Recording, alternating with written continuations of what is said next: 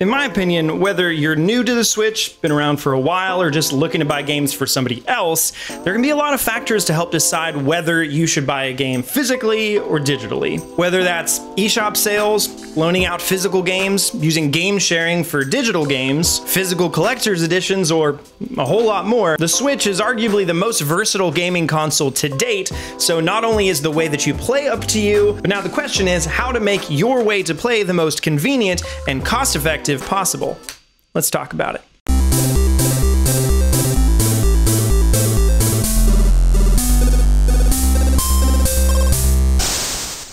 So in this video, we'll be comparing buying Nintendo Switch games digitally and physically based on several criteria. And while there are purists on one side or another, there are definitely arguments to be made for both. So let's get into it. But for sure, one of the primary factors is going to be cost. As we're buying games, as with most other purchases, the goal is to get the most bang for your buck. So in that case, if you're wanting to get the most explosives for your male deer, the most games for your money, one super valuable resource is DekuDeals.com. It's well known, but not quite ubiquitous, so you may have heard of it before, but maybe not. I'd say it's generally possible to find good deals for games both physically or digitally, but this site compares the cost for a specific game across all different retailers, including the Nintendo eShop, and it even tells you the lowest price point the game has ever been, so you can know if you should wait even longer for a sale if it's not quite reached that point again. But as a general rule of thumb, the base price point for digital games is set according to the physical release if they have one at all. So if the game launches with both, the price has to be the same on both fronts. But when the discounts come, typically they end up being deeper digitally than physically down the road. So if you're willing to wait, digital is probably the way to go. On the other hand, if you're looking to buy one of those games at launch, the digital price has to be full price because of the retail releases.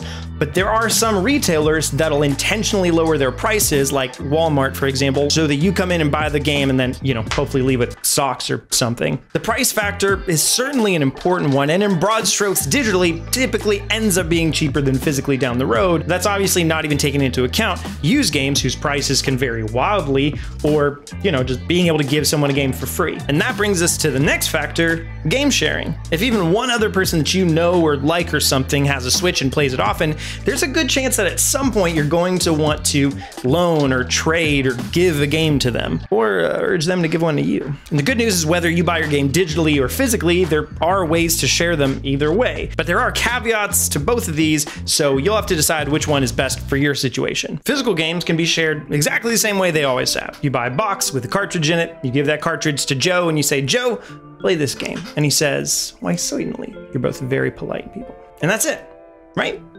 Right? Well, not always. Usually, the whole game's just on the cartridge and that's exactly what you do. But sometimes you'll see the phrase download required on the box, and that means probably you can't just share it with somebody or resell it. This could be one of two things. Either it means that some of the game is on the cartridge, but some of it has to be downloaded, like the Spyro Reignited trilogy or the 2K games that came recently. Then other times it means the full game is just a download code, and there's not even a cartridge in there at all, like Overwatch. So in the case of Overwatch, unless you want a box to put on your shelf, don't even bother. And with Spyro or the 2K games, it's kind of worth it if you just want to save the extra bit of space on your SD card. But that's kind of iffy. Otherwise though, physical games, yeah, you just share them the normal way. And on the other side with digital games, you may think you can't share them at all, but that's actually not even the case either. I rely on this functionality fairly often. The big picture is if you share your Nintendo Switch login information with someone you trust, someone you trust, don't just be giving it around, that's silly. They can create a profile and log into that account, download some of your games, and play them through your profile. Of course, there's caveats as to how this works, but for real life examples, AJ played almost all of Fire Emblem through my account, and I'm playing Paper Mario now through his. So let me tell you a bit more about how it works. The main purpose of it is for you to be able to play your game on multiple Switches if you have them. So Nintendo is fully aware of this functionality and that it can be used by multiple people, so they implemented some safeguards to make sure it doesn't get too taken advantage of, but you can still use it to just try out other people's games, which is fantastic. I love it for that reason. And the setup steps are pretty easy. Number one, your friend on their Switch creates a profile with whatever information. When they're prompted to, they add your Nintendo login information to that profile. And it'll be like, Are you sure you want to do this? And you'll be like, yes. Once they've got your account on there, they can go to the eShop through your account and go to re download games and download whatever digital games you've bought in the past. So then now you've got your games on your Switch, they've got your games on their Switch, and if you want to play them, you can play yours whenever you want. You'll never be interrupted. But if they're playing it on their account and then you start playing anything when connected to the internet, it'll kick them off which makes sense. You can get around this by playing on airplane mode on the primary Switch. That's what I did with Fire Emblem when AJ was playing it. But I think the best use case for this isn't for playing through full games, it's just for trying out other games to see what you might want to buy yourself. So, which of these game sharing scenarios is better? I think it totally depends. If you got somebody that lives far away, obviously you're not going to mail them your physical copy, or a friend that just wants to try out a bunch of stuff but not play through anything that they could be kicked off of, digital's the way to go. But otherwise, if I'm like, hey, I've played Breath of the Wild, I'd like you to play Breath of the Wild. I want all of you to play Breath of the Wild. Then just get it physically and lend it to them that way. It's very easy. But now on to a very important one for a lot of people, collecting. There's a huge convenience factor to digital games, which I'll talk about in the final segment. But no doubt if you're wanting to collect games, physical is the way to go. But a lot of publishers are really leaning away from the full physical game experience. They're taking out manuals, they're sometimes taking out full game cartridges just to have some kind of retail space so people will buy games. Sometimes they'll make special editions for certain games like Xenoblade or Link's Awakening or something, but those are usually pretty expensive. But then there are a couple companies that are picking up the slack in a wonderful way. I got these two games sent to me by Super Rare Games a couple weeks ago, and while I'm having a good time with the games themselves, the method behind the madness is what I really want to talk about here. Both Super Rare Games and limited run games run on a similar principle. Indie games as a whole over the past decade have become a really huge part of what makes video games great. But unfortunately, a lot of them really can't justify having a retail presence. Most of the time, to be in Walmart or Best Buy or whatever, you need to produce a certain amount of copies and ship them out to all these stores. And the problem with that is if you make 10,000 copies of your game, but you only sell 3,000 of them, then that's a huge loss on your side. But along come these companies that print a limited run of these games, making them inherently super rare and ensuring that there is, in fact, a return on investment. And not only that, but there's also really good curation in these cases because while the Nintendo eShop really isn't curated super well anymore, there's a lot of garbage on there. Super rare games in limited run will only go with games that are really well established and they believe in. And in addition, they don't skimp on what's included in the package either. Let me show you. So here are these two games that I got. Graceful Explosion Machines, kind of like a shoot 'em up. But in here, you get a sticker. That's nice.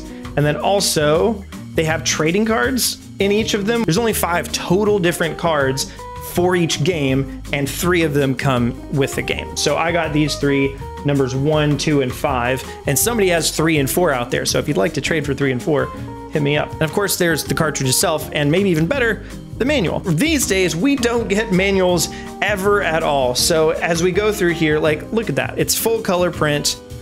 I don't know. It's just really nice to have things to actually look through. Maybe it's something that if you're new to games, you don't really care about or have much of an appreciation for, but it's something that down the road, this will be valuable as a collector's item for one thing, but then also it's just more exciting to open up than not having all this stuff. So all in all, whether you want to display a game or just have something more fun to open, or even just make sure that in 20 years you'll still have a game cartridge to play because the eShop may just go down, I don't know. These are some additional benefits for physical. And a quick honorable mention before I get to the last big reason, these days whether I buy digital or physical depends on a number of different factors, but one situation that I think is always better to go physical for me is gifts. It's probably mostly pretty self-explanatory, but it's just more fun to unwrap a present that's a box with a game in it instead of, I don't know, a download card or a picture of a game downloaded on your Switch. But the last real factor for me on deciding whether to buy a physical or digital game is the genre. At this point, you either already totally get what I mean or you don't yet, but you're about to. But if you're buying a multiplayer game,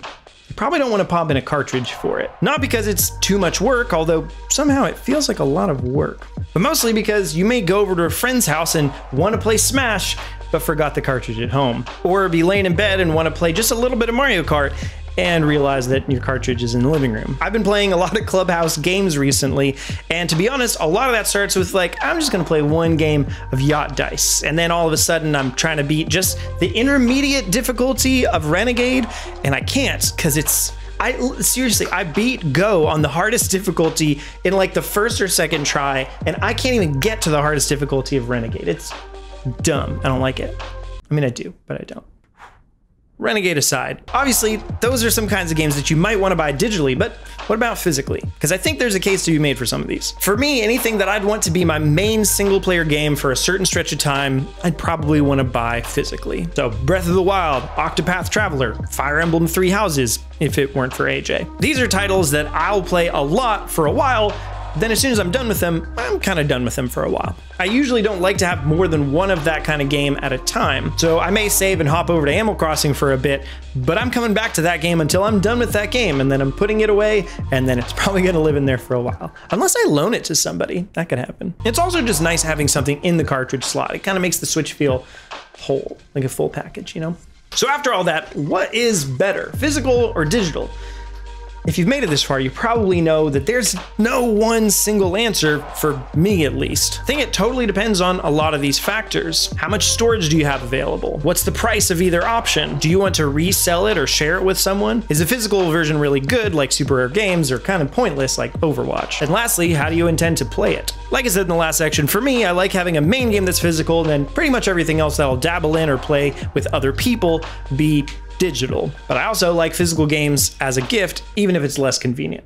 But that's what I think. What do you think? If you had to pick only physical or only digital, which would it be? Let me know that in the comments. And also, I'm going to run a poll on Twitter, and we'll talk about that in our podcast tomorrow. So let me know over at, at Parker Deal on Twitter, and uh, I don't know, we'll see what you have to say. But we'll take some of those comments, talk about them on the podcast. And also, while you're down there, be sure to subscribe to Fanatix 4, hit the bell for notifications, and like the video for more like this every Tuesday and Thursday at 4 p.m. Eastern Time here on Fanatix 4.